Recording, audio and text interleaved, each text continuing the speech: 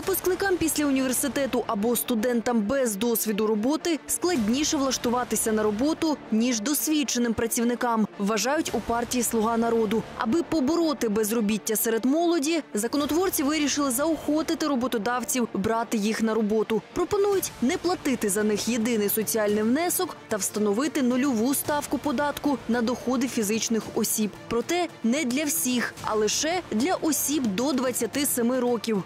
Роботодавці надають перевагу більш досвідченим працівникам та не беруть на роботу студентів або молодих спеціалістів.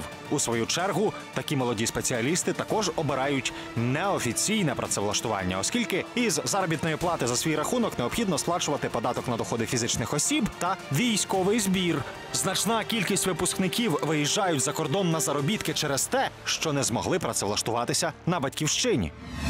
Про відтік мізків та робочих рук з України за кордон свідчить і міжнародний валютний фонд. За результатами дослідження до 2030 року з нашої країни поїдуть в пошуках кращої долі приблизно 15% працездатного населення. А ще через 20 років вдвічі більше. Переважно це будуть молоді люди.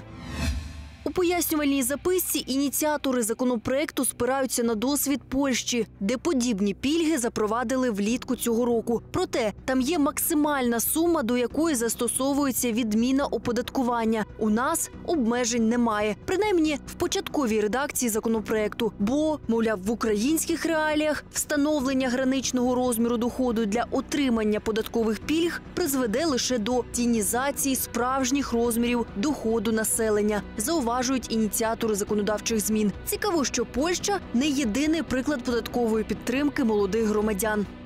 Аналогічний порядок діє в Бельгії, у Франції, у Чехії, тобто молодь до 26 правда років у Польщі, яка має річний дохід до першого податкового порогу, це 20 тисяч євро на рік, повністю звільняється від оподаткування. Більше того. Е- вона не просто звільняється, за неї не платять податки і роботодавці. Робиться це для того, щоб утримати молодь в країні. Експерти поки не беруться прогнозувати, наскільки складно буде реалізувати відміну оподаткування для працюючої молоді в Україні. Проте, як запевняють законотворці, можливі новації зупинять молодих спеціалістів від переїзду за кордон, бо роботодавці самі будуть зацікавлені у їхньому працевлаштуванні. Натомість закон призведе до залучення коштів іноземних інвесторів для розвитку бізнесу з молодими спеціалістами. Ба більше іноземці самі приїдуть працювати в Україну. Серед очікуваних змін також і детінізація ринку праці, впевнені у фракції Слуги народу. Проте далеко не всі експерти поділяють оптимізм депутатів.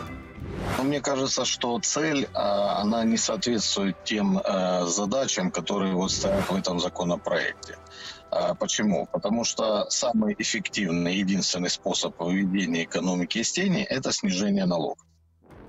А Если же э, здесь мы говорим о, том, о установлении ценза возрастного для стимулирования выведения из тени, то, э, то здесь э, это не соответствует э, значит, тому, к чему, ну, чему по факту законопроект может привести. Если бы, допустим, автор законопроекта говорил о том, чтобы, что его цель оставить молодое, молодых людей до 27 лет в Украине, для этого для них создаются вот такие вот льготные условия, тогда бы это было понятно. А, При этом э, остается вопрос, а почему именно до 27 лет? А второй момент, э, как же в отношении того, что согласно и Конституции, основным законом налогообложение у нас распространяется одинаковое, но на всех людей. Якщо тенденція збережеться і відтік робочої сили не припиниться, то це призведе не тільки до кризи на ринку праці, але й до колапсу пенсійної системи. Тому навіть те, що депутати задумались про державну підтримку молоді, це вже добре. Однак такий закон має бути виважений, по-справжньому ефективний і враховувати можливі наслідки нововведень.